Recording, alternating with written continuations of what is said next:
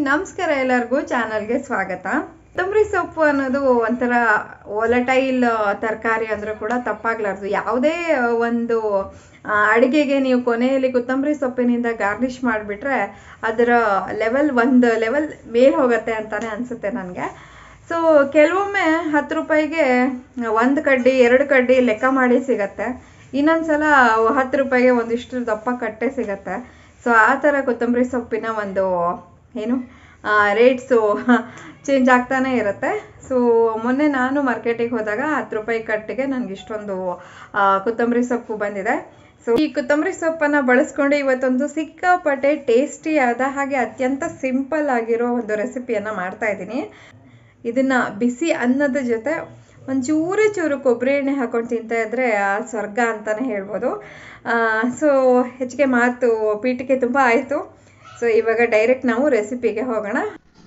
ನೋಡಿ, ನಾನಿಲ್ಲಿ ಒಂದು ಕಟ್ ಆಗುವಷ್ಟು ಕೊತ್ತಂಬರಿ ಸೊಪ್ಪನ್ನು ಅದರ ಬೇರೆಲ್ಲ ತೆಗೆದುಬಿಟ್ಟು ಕ್ಲೀನಾಗಿ ತೊಳೆದಿಟ್ಕೊಂಡಿದ್ದೀನಿ ಇವಾಗ ಒಂದು ಬಾಣಲೆಗೆ ಇದನ್ನು ಕಟ್ ಮಾಡಿ ಹಾಕ್ಕೊಳ್ತಾ ಇದ್ದೀನಿ ಇವಾಗ ಇದನ್ನು ಒಂದು ಐದು ನಿಮಿಷ ಈ ಥರ ಹುರ್ಕೊಳ್ಬೇಕು.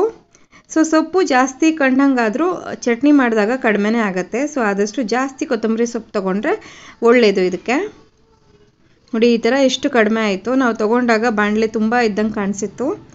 ಸೊ ಇವಾಗ ಇದನ್ನು ಮಿಕ್ಸರ್ ಜಾರ್ಗೆ ಹಾಕ್ಕೊಂಡಿದ್ದೀನಿ ನಂತರ ಅದೇ ಬಾಣಲೆಗೆ ಒಂದು ಚಮಚ ಆಗೋಷ್ಟು ಎಣ್ಣೆಯನ್ನು ಹಾಕ್ಕೊಂಡಿದ್ದೀನಿ ಒಂದು ಹದಿನೈದರಿಂದ ಇಪ್ಪತ್ತು ಮೆಣಸನ್ನು ಇಲ್ಲಿ ಹಾಕ್ಕೊಂಡಿದ್ದೀನಿ ಖಾರಕ್ಕನುಸಾರವಾಗಿ ನೀವು ಮೆಣಸನ್ನು ಹೆಚ್ಚು ಅಥವಾ ಕಡಿಮೆ ಮಾಡ್ಕೊಳ್ಬೋದು.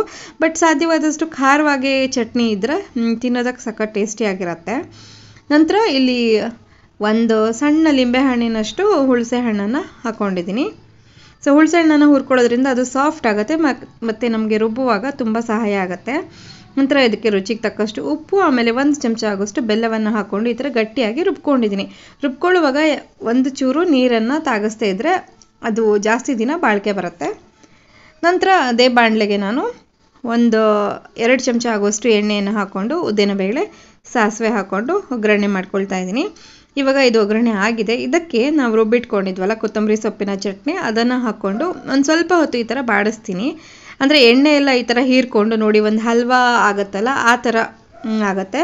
ಈ ಥರ ಮಾಡಿಟ್ಕೊಳ್ಳೋದ್ರಿಂದ ಕೊತ್ತಂಬರಿ ಸೊಪ್ಪಿನ ಚಟ್ನಿ ಜಾಸ್ತಿ ದಿನ ಬಾಳಿಕೆ ಬರುತ್ತೆ. ಒಂದು ಏರ್ ಟೈಟ್ ಡಬ್ಬಿಯಲ್ಲಿ ಹಾಕಿಟ್ಕೊಂಡ್ರೆ ನೀವು ಆರಾಮಾಗಿ ಒಂದು ವಾರ ಅಂತೂ ಇಡ್ಬೋದು. ಫ್ರಿಜ್ಜಲ್ಲಿ ಇಟ್ರಂತೂ ಒಂದು ಹದಿನೈದು, ಇಪ್ಪತ್ತು ದಿನ ಆರಾಮಾಗಿ ಕೆಡದೇ ಇರುತ್ತೆ. ನೋಡಿ, ರುಚಿ ರುಚಿಯಾದ ಕೊತ್ತಂಬರಿ ಸೊಪ್ಪಿನ ಸಿಂಪಲ್ ಚಟ್ನಿ ರೆಡಿಯಾಗಿದೆ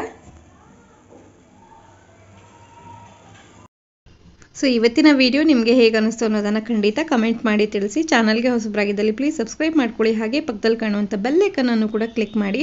ಬೆಲ್ಲೈಕನ್ ಒತ್ತುವಾಗ ಆಲ್ ಅಂತ ಬರುತ್ತೆ. ಅದನ್ನು ಸೆಲೆಕ್ಟ್ ಮಾಡಿಕೊಂಡ್ರೆ ನನ್ನ ಎಲ್ಲ ವಿಡಿಯೋ ನೋಟಿಫಿಕೇಷನ್ ನಿಮಗೆ ನೇರವಾಗಿ ಫಾಸ್ಟಾಗಿ ಬರುತ್ತೆ. ಸೊ ಮತ್ತೊಂದು ಹೊಸ ವಿಡಿಯೋದೊಂದಿಗೆ ಸಿಗೋಣ. ಅಲ್ಲಿವರೆಗೂ ನಮಸ್ಕಾರ.